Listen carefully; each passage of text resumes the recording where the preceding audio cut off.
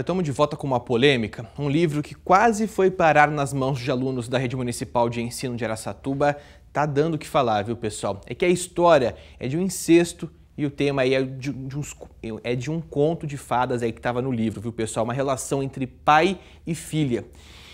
Enfim, foi enviado pelo Ministério da Educação para todo o Brasil e as prefeituras ficaram atentas aí com, com o perigo que esse livro poderia representar e começaram a recolher. Vamos acompanhar na reportagem.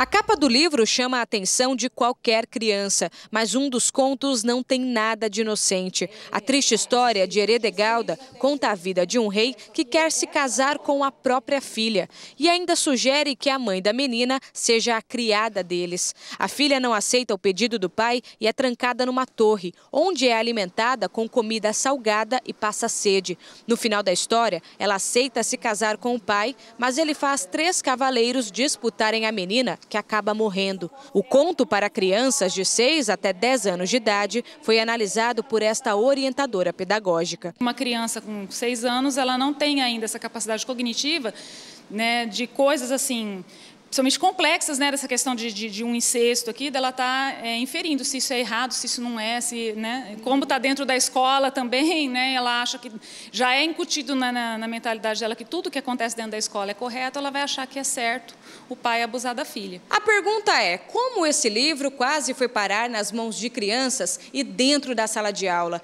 É difícil de acreditar, mas ele foi enviado junto com outros livros pelo Ministério da Educação e para as secretarias municipais de educação de todo o país. Aqui em Aracatuba, todos os exemplares já foram recolhidos das escolas. A equipe pedagógica está se debruçando nessa questão, fazendo estudos, estamos pegando relatos, inclusive, de psicólogos, para elaborar esse parecer e está enviando ao MEC com a justificativa e, inclusive, vamos procurar fazer a devolução desses livros ao MEC. Para o delegado, as histórias pedagógicas deveriam ajudar a criança a denunciar quando é vítima de violência e não entender que um pai querer se casar com a filha é algo comum. Nós temos vários casos, inclusive, que muitas vezes uma criança é abusada pelo, pelo pai e depois de vários anos isso vem à tona. Ela fica remoendo isso durante muito tempo e isso abala é, drasticamente o psicológico de qualquer criança.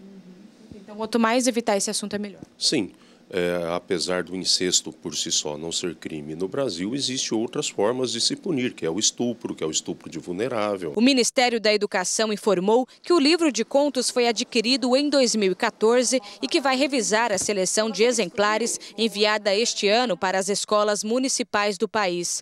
Os pais de crianças matriculadas no ensino fundamental de Araçatuba ficaram indignados com um conto que, por pouco, os alunos não tiveram acesso. Para mim é um absurdo, porque imagina, né? Eu tenho três filhos, meus filhos lerem um tipo de livro desse, é, qual, o que, que é que eles vão estar aprendendo, né? Isso é um absurdo, é uma total falta de discernimento passar umas coisas dessas para as crianças. Hoje em dia que a gente luta tanto contra o, a pedofilia, contra pai, é, tio, avô com criança, a Secretaria de Educação, o Ministério da Educação, passar um livro desse para as crianças, é um absurdo. Esse livro jamais entraria na minha casa, com certeza.